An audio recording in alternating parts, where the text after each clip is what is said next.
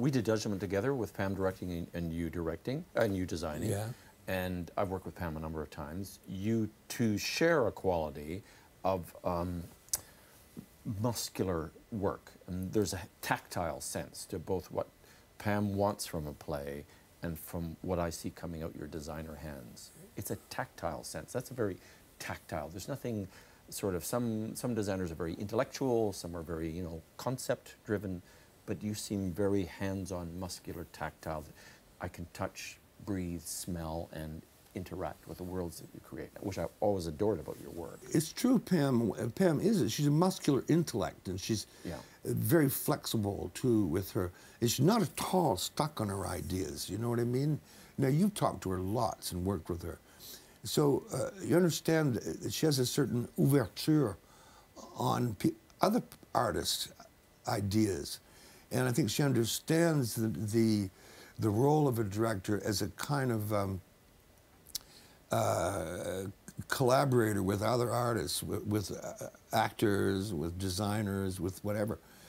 Uh, so, I mean, she, she has a muscular, flexible intellect, but um,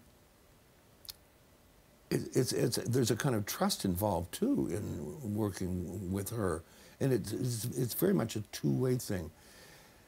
Uh, So I had a great time once at Stratford working with her. We did um, a production of Henry VI, parts one, two, and three, all junked together as one evening. And Pam did the edit on that, those three massive texts.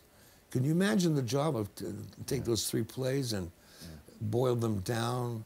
I mean, you had to eliminate some of the best things in the, uh, you know, and you had to eliminate just scenes that people, pivotal, not pivotal scenes, but scenes that are so much part of each one of those plays. Anyway, and um, she recognized it as a, I mean, it's, it's more gory than any Richard III could be, or any, I mean, there's, the, Rich Henry VI is full of people getting their eyes put out and being, being uh, beheaded, and I mean, it just goes on and on, and it's like a bloodbath. You know what I mean?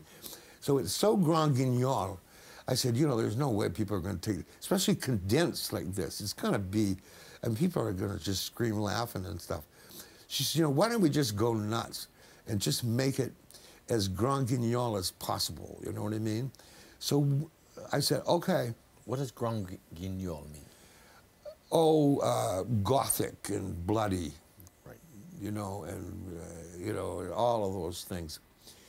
And uh, so, I mean, we did stuff like uh, there's one scene where a bunch of soldiers come in and throw somebody's head they've just cut off onto the stage. You know, so what do we do? A fake old plaster cast of the likeness of the actor? Nah, not that.